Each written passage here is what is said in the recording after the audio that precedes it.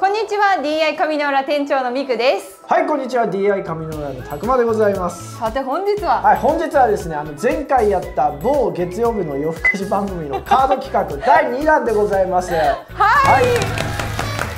楽しかったですね楽しかったです。前回が、はい楽しんでいただきましたでしょう。か、僕たちすごく楽しくて。そう味しめちゃいました。味しめてもう一回やろうということで、はい。もちろんあの中のカードはですね、はい。変わってたりそうですね、なんかこうちょっと残して、はい。あのまあ半分ぐらい変わってるんじゃないでしょうか。そうですね。5枚ぐらい多分変わ変えていただきました。はい、でそちらはですねあの DI 中原メガネ店という姉妹店の小路店長がまた内容を考えてくれてるので、はい。私たち中はまた知らないんですけれども。芸能人ちょっと裂け目でっていうところで この間阿部寛さんとフワフワちゃんがこうババンって来たんで。そうですね。そうなんですよ、なんでちょっと今回のあのクエスチョンも楽しみでございます。はい、じゃあ早速行ってみたいなと思います。はい。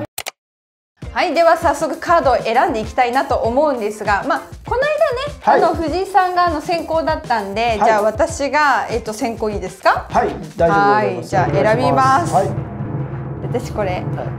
ハムみたいに。いきますななんですかなんですかなんですか？高級旅館でかけたいメガネと。どういうこっちゃって本当に高級旅館。なるほど。どこが思いつけます？熱海黒川。あ黒川って熊本ああそうですね。もう一番短身近ですよね。湯布院別府はい。とかですかね、高級旅館とか。そうですね、まあ、まだちょっと縁遠いものがありますけれども 想像力働かせて選びたいなと思います。はい、ではあの二人とも選ばさせていただいたんですが、はいままあとってもむちゃくちゃなテーマなので、はい。もうイマジネーションですよね。そうで。すよね、はい。ここをピンポイントでメガネ選ぶ方ってほぼほぼ多分いないと思うので。そうですね。よね。で今回は、えー、と私とタクは、はい。あの選んだものをちょっとお互いにねシークレットで、シークレットで、ははいい、こういうふうにえ選んでおりますのでそうなんです、はい。じゃあちょっと私の方からご紹介していきたいなと思います、私が選んだのはじゃーん。こちらでございます、なんとなくわかる？色色じゃないですか。この字の色じゃないですかもう。違うよ。違うこちらはですね、はい。アイバンの、えー、と217というモデルなんですけど、はい。えーカラーがですね900307というカラーでございます。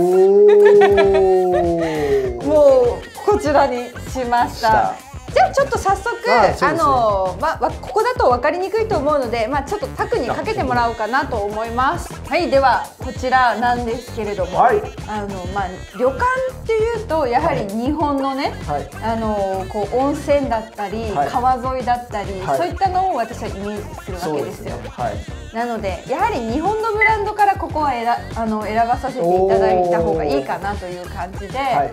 でアイバン7285は、まあ、非常にあの上品であの高級なというかそういった佇まいが特徴なんですよね。はい。なのでそこの場に、まあ、ちょっとちぐはぐにならないようにあのメタルフレームで小ぶりなものをちょっとこう、わあこの人何者かしら？みたいな、うん。あのそういった雰囲気で、はい。はい、選んでみたんですよね。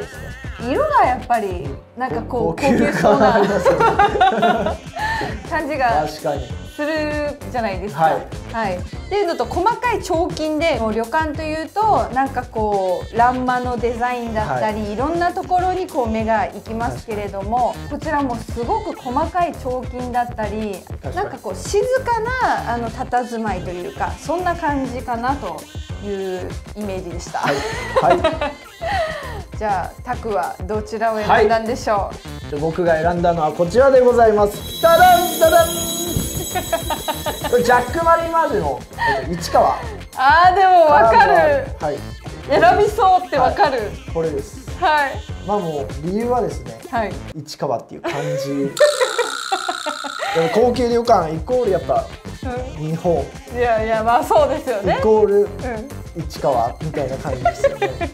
はいうーわーなんかすごい大迫力ですけれども、なんかこれにねゆ浴衣なんか着て、下駄履いてね。はい。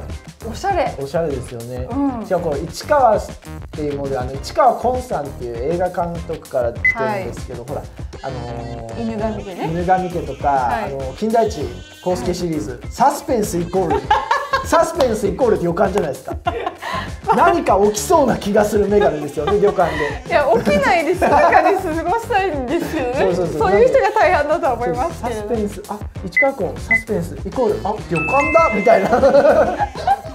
選びそう。で僕もこれをチョイスしました。なるほど、は佇まいもやっぱ、ねかっこいいですよね、はい。いこのあのリペットがあの18金のそうプレートだったりとかするのでセルってなんとなくカジュアルなイメージがあると思うんですけど、まああのこちらのブランドはですねやはりあのちょっとこうカジュアルっていうよりかはあのセルもちょっとドレスっぽい感じなんですよね、こうフォーマルっていう感じも感じられるので、まあナイスチョイスだと、はい。ありがとうございます。はい思います。では続いてですね、次のテーマなんですが、はい。じゃあ選んでくだはさい。い。僕が次選びますね。はい難しくない。じゃあいきますね。はい。じゃじゃん。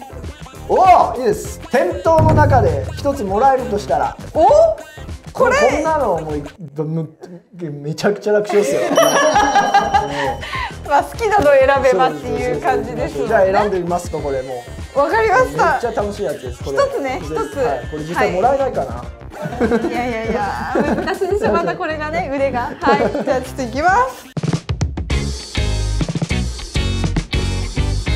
意外に悩みました。悩みました。なんかパッと取れるのかなと思ったら意外に悩んじゃって。いや悩む。私結構悩んじゃった、なんかなんか一本って言われるんですね。なんか五本とか言われたらもう取れるんですけど。いやーまあそんな欲張りな。そうそうそうそうそうそうそうじゃあ僕出しちゃっていいですか？じゃあ今回ちょっとじゃあ先に。先に僕出しますね。どうぞ。僕これです。ダダン。お